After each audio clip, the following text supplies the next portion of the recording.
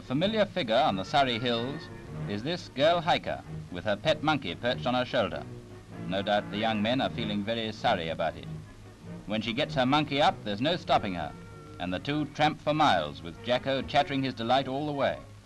And when a halt's called for refreshment, well, he's a great halter. Usually natural enemies, this fox and tame rat have buried the hatchet and set up house together in the same kennel. This basket serves as their sleeping quarters, and, uh, well, we're still wondering what that secret is.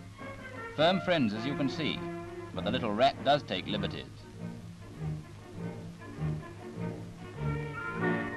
In the Chiltern Hills, we found Cinda, a fine Springer Spaniel, and his friend Pam, a black Persian. Cinda looks on while Pam has a good tuck in, with Mickey, another Persian, as a guest. Now, what about me? I'm hungry. Cinda's the lad for errands.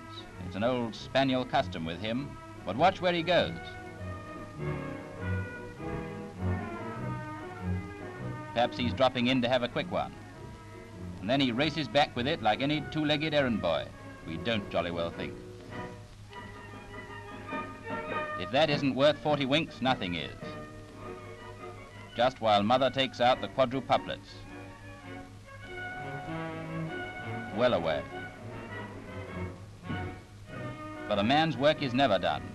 What about pushing this pram for a bit, you lazy dog? Have I got to come and fetch you? So he answers the call of beauty, like any other proud father. Oh, yes?